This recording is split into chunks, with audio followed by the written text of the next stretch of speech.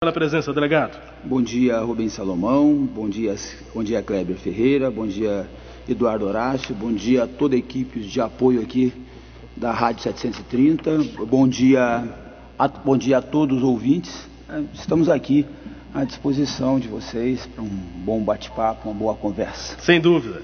É, candidato, nós é, tenho perguntado a todos os candidatos qual a expectativa para a campanha é, e já vou emendar essa pergunta, o que, que o senhor espera dessa campanha até o dia 2 de outubro, mas também com a pergunta do ouvinte que nós já citamos aqui, o Divino Moraes já mandou o WhatsApp e pergunta como é que o senhor vai fazer, o que, que o senhor vai fazer para melhorar a guarda municipal, sem dúvida abordando o tema da segurança pública, que já é elencado como uma das principais necessidades, se não a principal da cidade de Goiânia. A expectativa do senhor e o tema da segurança pública, a guarda municipal.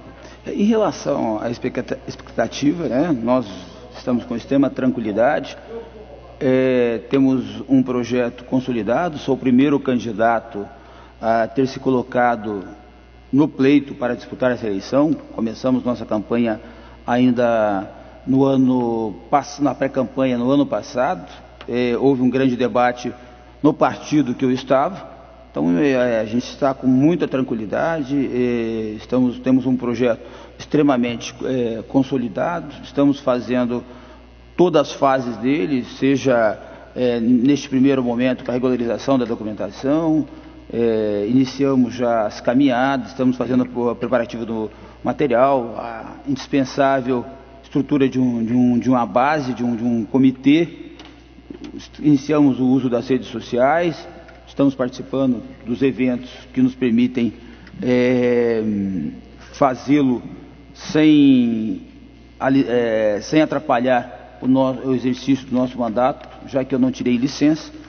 Então seria basicamente isso Deputado. em relação à expectativa. E em relação à expectativa também, eu diria para vocês o seguinte: é, vamos permitir ao eleitor fazer a escolha no dia 2 de outubro. Nós vamos, nós estamos nesse projeto apresentando novidades e um plano de governo que depende, sem dúvida nenhuma, de algumas informações que o prefeito de Goiânia tem que fornecer nos próximos dias para nós.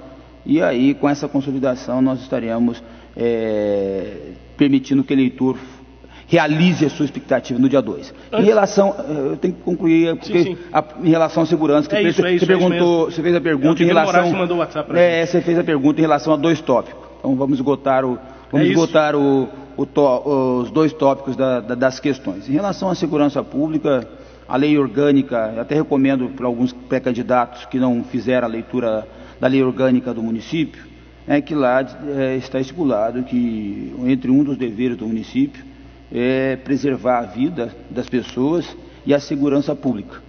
É, e você não tem como fazer isso como é feito hoje, com os guardas civis é, na base da unha ou no dente. Então você tem que, é, primeiro, treiná-los para que eles possam fazer uma ação ostensiva. Uma vez treinado, dar equipamento, coletes, armamento, comprar veículos. Você não tem como enfrentar a criminalidade com um carro 1.0 ou numa cidade dinâmica que não tem, é, que a mobilidade está prejudicada, você fazer só com carros, tem que ter motocicletas. Então você tem que é, se adequar a essas questões e queremos fazer, sem dúvida nenhuma, uma polícia com, um, com uma excelente estrutura, uma polícia municipal. E nesse projeto, é claro, existem outras atribuições do município, como, limpe, como limpeza de lotes, como iluminação, isso é atividade complementar uma cidade moderna, ela se preocupa com as suas pessoas, com as pessoas que vivem na sua cidade, em todas as áreas, especialmente na segurança pública. E vamos criar os módulos policiais. Para quem não sabe o que é módulos policiais, né, na verdade são bases, bases que terão funcionamento 24 horas. Ficarão em locais estratégicos, em praças, em locais de é, grandes eventos. Iremos criar em Goiânia também um monitoramento eletrônico é, dinâmico, inteligente e faremos no, na, nas entradas de Goiânia, como já existe em outras cidades do Brasil, grandes portais, grandes portais, ok? Diga, Eduardo. Guarda Municipal hoje tem 1.600 homens, 60 viaturas. Para o senhor, esse número é suficiente ou precisa aumentar? Tanto a quantidade de guardas, e se precisa aumentar, para quantos guardas municipais, a Guarda Civil Metropolitana, né? E para quantas viaturas tem que aumentar? É, na, na, na verdade, é, hoje a, a Guarda Civil ela tem mais homens do que a Polícia Militar, hoje em Goiânia. Então eu diria para você, é, nós temos que ver qual que é o quadro adequado. Quantas bases nós vamos construir em Goiânia? Pois é, mas o senhor qual... não fez esse estudo ainda? É, ele, eu dependo, de, para finalizar esse estudo, de algo que está na lei orgânica. Né? A lei orgânica diz que 30 dias antes, 30 dias antes é, das, das eleições, o atual prefeito, ele tem que apresentar para os pré-candidatos toda a estrutura existente. Essa estrutura é a estrutura que você está dizendo, que outros jornalistas estão dizendo, mas eu não recebi isso ainda formalmente do atual prefeito. Então eu não posso. Está no portal da transparência. Não, isso. mas eu não sei se aquilo já mudou de ontem para hoje, amanhã. Eu tenho que receber uma informação formal, porque com essa informação formal é que vai poder amanhã eu impetrar ação contra o atual prefeito por qualquer dado ou informação que não seja. Tá legal. Mas no, nós vamos é, é, implantar essas bases 24 horas. Precisaremos de ver o plantão dos, do, dos guardas civis hoje, como que funciona. Então é tudo uma necessária, necessária uma adequação. E depois que nós tivermos esse dado, na verdade, a quantidade de viaturas é, e a quantidade de homens, eu vejo que é papel do, do nosso próximo, se o delegado Valdir for eleito prefeito de Goiânia, é, é, papel do secretário de segurança, mas não do prefeito. Então nós vamos ter esses dados no momento certo. E teremos um, uma expectativa, nós teremos uma expectativa assim que o atual prefeito passe os dados reais, seja em relação a viaturas, a carros, a caminhões locados, a comurgue, a receitas e despesas, aos parques em manutenção, em relação a. Então, então a, a tudo eu posso falar quando eu tiver de dados, de números, quando eu receber oficialmente do atual prefeito como está a gestão, como está a previdência, o que, que ele deve de o que, que ele deve ao governo federal, quantos meses que ele não paga a saúde, porque os funcionários públicos municipais não estão recebendo. Então eu quero saber, eu preciso saber disso formal. Antes disso, né, eu vejo alguns candidatos falando disso, daquilo, com base na, na, na atual. Isso daí é chutômetro, porque não foi passado ainda oficialmente. Delegado, é, ao, ao é, dizer tudo isso, de equiparar a guarda, colocá-la para fazer esse trabalho dinâmico que o senhor está falando, o senhor não retira do Estado a responsabilidade que compete a ele, trazendo para a Prefeitura essa responsabilidade? É... O senhor não dá uma aliviada, uma folga para é, o Estado na questão da segurança pública? Kleber, primeiro é, vou dizer para você que está na Constituição que qualquer pessoa pode prender em flagrante delito quem esteja nessa situação. Então você, Kleber, se você sair aqui na rua, na frente da 730, encontrar alguém furtando o objeto de uma senhora, alguma coisa, você pode fazer a prisão dessa pessoa. Então se você que é um jornalista pode fazer isso, a guarda que é um órgão instituído, formal, condicional, é, mas... é, não deixa eu só Sim. concluir meu raciocínio, aí eu ah, já, claro, porque claro. senão vou perder meu raciocínio aqui. É, então você, você poderá fazer isso. A guarda, ela está, é um instrumento condicional, está na lei orgânica do município, já vou pedir de novo, o prefeito que não leu isso, leia por favor, e nós temos a lei 13.022. Então basta você ler.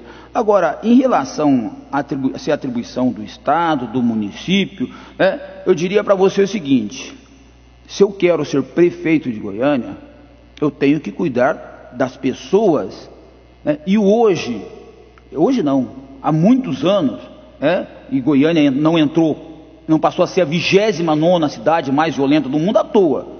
E toda a demanda, todas as pesquisas que nós fizemos desde o ano passado, seis pesquisas, as pessoas que nós colocamos na rua, nas caminhadas que eu tenho feito, a, a no, 70% da sociedade quer uma ação de um prefeito na área da segurança pública. Eu entendo e se, vai ver, só terminando o raciocínio. Claro. É, e se o Estado faliu e não deu essa condição, é o grande calo do atual governo, a insegurança pública. Se ele não conseguiu realizar, eu não posso amanhã, como prefeito de Goiânia, e essa sendo, a principal demanda das pessoas que moram nessa cidade, dos empresários. Eu vou, vou dar uma dica, uma dica para você. Você sabe que é, o, o Rubens Salomão aqui, né, que tem um apartamento ali no, no, no Marista.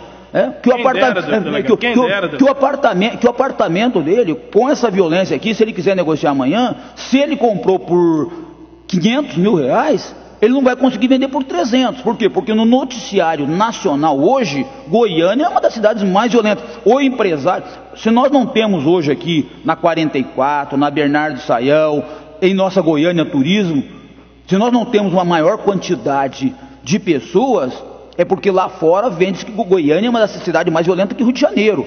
É uma cidade mais violenta que São Paulo. Eu estou mentindo. Muitos turistas deixaram de ir para o Rio de Janeiro em razão da questão da violência. E nós não podemos negar essa violência que existe em nossa cidade. Todo dia na imprensa, se você abre. Hoje os policiais estão. Não é só o cidadão, não, é os policiais. Então, eu, como prefeito, amanhã, não vou, não vou, não vou ser secretário de segurança, não. Nós teremos.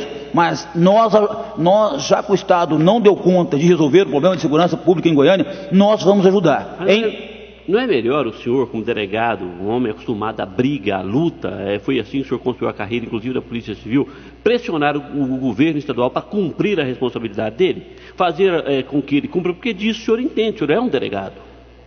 É, eu diria. E que... operacional, o senhor é um delegado operacional. É, Kleber, nós não podemos deixar 1.600 homens competentes. E a principal necessidade de, alguém é, para o Estado, porque ele tem usado politicamente a Secretaria de Segurança para eleger um governador.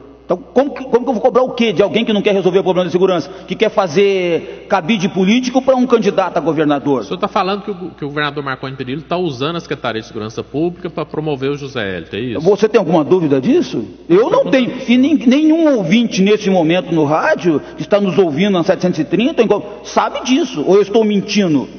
Né? Então, nós teríamos que ter na Secretaria de Segurança um técnico, um especialista. O que, me diga uma coisa, qual a profissão do atual vice-governador? É advogado. Advogado o quê? Eleitoral. Você pode ficar brincando de fazer segurança pública? Colocar um advogado eleitoral que entende de, de eleitoral. É a mesma coisa que você colocar um padeiro para construir um prédio.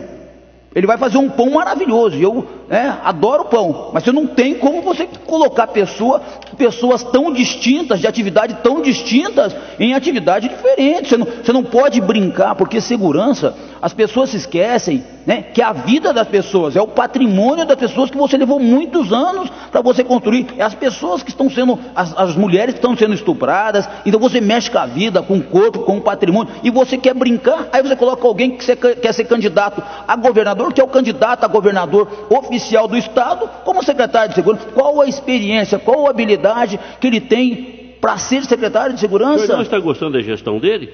Oi? O senhor não está gostando da gestão é, do Eu não tenho que gostar, porque a gestão, é a, a, a, gestão dele não é. Eu não tenho que gostar ou desgostar. Quem tem que gostar ou desgostar é o cidadão. E ele vai mostrar isso na, nas urnas agora. Inicialmente, dia 2 de outubro. É depois, base, depois, dois, depois, em 2018. O senhor não se considera mais da base do governador, não?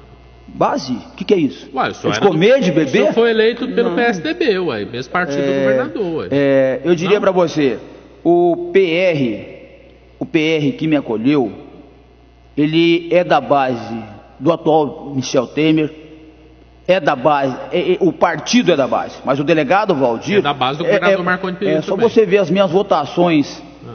as minhas votações e minhas manifestações nas redes sociais. É, é, eu sou de atitude, de atitude de ações independentes. Né? Eu voto e eu, eu tenho é, convicções em princípio, e princípios diferentes.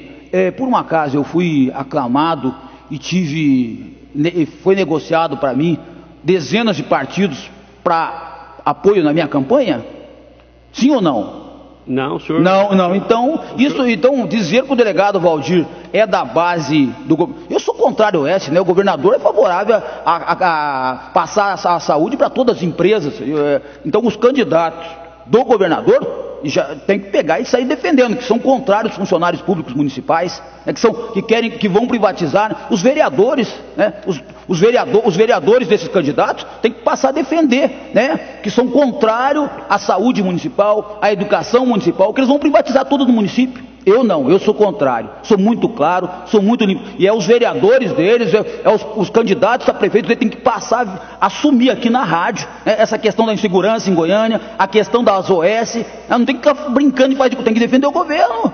Né? Eles, são, eles são governo, tem que defender. Eu, eu, vocês sabem, a minha atitude sempre foi assim. Não é o primeiro momento que eu venho aqui na 730 e tenho sido extremamente transparente e claro. Né? Delegado Valdir, ele é a renovação, a novidade nessa campanha. Não faço parte das mesmas panelas que estão aí há 30 anos. Eu rompi com essas panelas.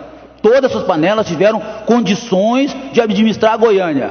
Um partido A, B, há 30 anos, esses partidos estão, estão é, no comando em Goiânia, no estado de Goiás. Eu venho para romper. Eu sou a novidade desses grupos sou diferente. Minha campanha vocês viram que é diferente. Não tem aquele monte de bandeira, um monte de cartão, um monte de gente sem fazer nada andando atrás do candidato. Né?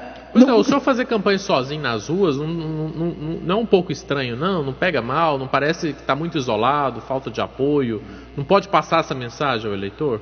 Vamos, vamos deixar é, para dia 2 de outubro, porque é, quando você quebra um paradigma, quando você faz algo novo, imediatamente você é criticado por isso.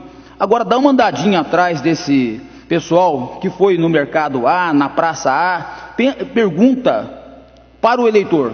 Aí eu pergunto para você, como eleitor, por que, que você acha isso, Eduardo? Você ter 40 pessoas atrás de um candidato. Quem que tem que pedir o voto? Não é o candidato a prefeito? Não é o candidato a vereador? Por que, que tem mais 30, 40 pessoas sem fazer nada atrás dele? Atrapalhando é, nas calçadas, atrapalhando as pessoas que caminham, os idosos, as mulheres, as crianças, é, atrapalhando os comerciantes. 30, é, 30, 40 pessoas querendo entrar na, na, na loja do comerciante para pedir voto para ele. Então, na se feira. Tiver, se tiver 30 pessoas querendo andar junto com o senhor, o senhor não vai aceitar. É, na, na verdade, quem tem que pedir voto sou eu, né?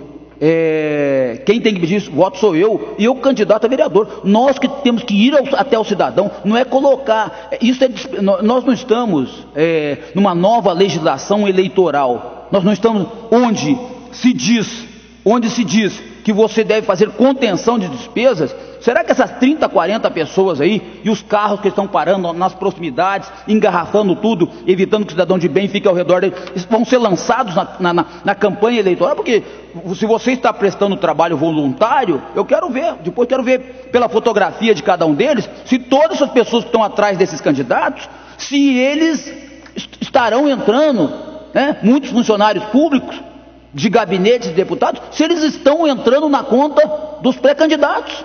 É, vou ver, eu quero ver se a justiça eleitoral, é, porque se tão, estão ali, eles são voluntários. Se são voluntários, eles têm que doar o serviço deles. Se tem que doar o serviço deles, eu quero ver, eu tenho as fotografias filmagens já feitas. Eu quero saber se aqueles 30, 40, 50 pessoas que estão andando atrás de cada candidato, se estão registrados na justiça eleitoral. Bora ver isso daí. 7h53, estamos entrevistando o delegado Valdir, candidato à Prefeitura de Goiânia pelo PR.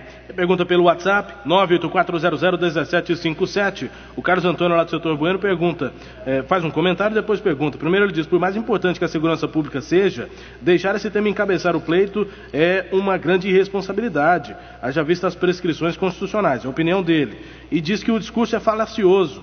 É, pergunta se o discurso é, do senhor fica restrito a isso, o que mais se tem na campanha e se o discurso do senhor é falacioso. Pergunta o Carlos Antônio. Carlos Antônio, bom dia, Carlos Antônio. Fique com Deus, Deus abençoe a você, te dê excelentes ideias e te dê o melhor prefeito para Goiânia. Mas dizer para você e que delegado Valdir, é, nós temos algumas outras propostas. Se você quiser souber, saber, você vai poder acessar no, no, Facebook do delegado Valdir, mas eu vou te adiantar algumas aqui.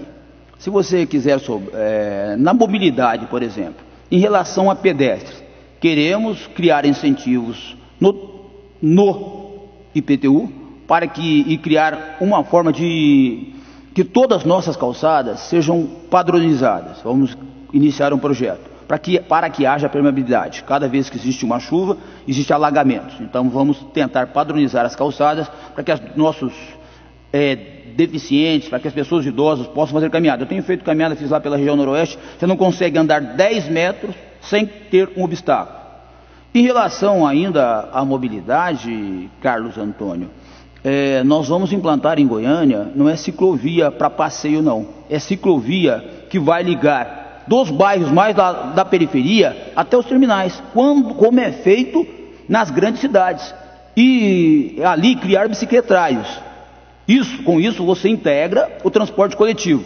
Mas nós temos que pensar também, Rubens Salomão, nas pessoas, que Goiânia, eu acho que o Carlos não sabe disso, é a cidade que tem a maior quantidade de motocicletas proporcional do país. Então nós vamos criar um modelo próprio para Goiânia, motovias, do lado direito da pista das grandes avenidas, para evitar que as pessoas morram hum, é, ou sejam feridos, para reduzir o número de pessoas que vão entrar nos CAIs, nos hospitais. É, isso tem os motociclistas, foi um pedido dos mototáxis, das pessoas que entregam mercadorias em Goiânia, foi um pedido para o delegado Valdir. Nós vamos criar as motovias para que elas circulem num local adequado. Em então, relação, então, então vai ter ciclovia, eu, eu, eu, motovia, faixa exclusiva de ônibus e aí o espaço para o carro. É, na, na, na verdade, as vias devem ser priorizadas para a circulação. Nós queremos incentivar em Goiânia os estacionamentos verticais. E criando esses estacionamentos verticais, serão, viu, Carlos Antônio? Os estacionamentos verticais serão uma fonte de renda para financiar o transporte coletivo.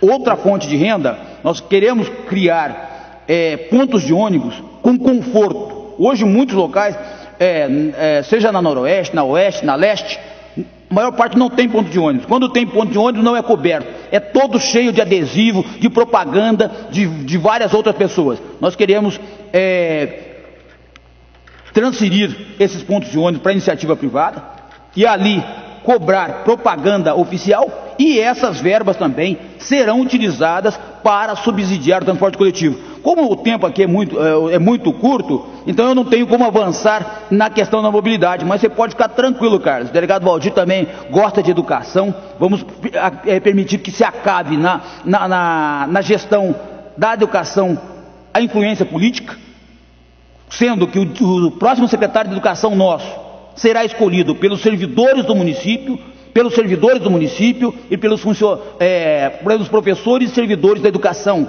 iremos criar também, para que o diretor não tenha que resolver os problemas das escolas, a figura do síndico. Cada escola terá o seu síndico. Oeste e, na educação você não considera, não? Eu já falei no começo que isso daí é, é os candidatos e os vereadores que têm que depender do Marconi. Peraí, deixa eu falar da educação, Diga. que é muito importante. As mas cre... o tempo está acabando. Não, não tem problema, mas isso é de extrema importância e as mães têm que saber. Diga, diga. Creches em Goiânia vão funcionar 12 meses.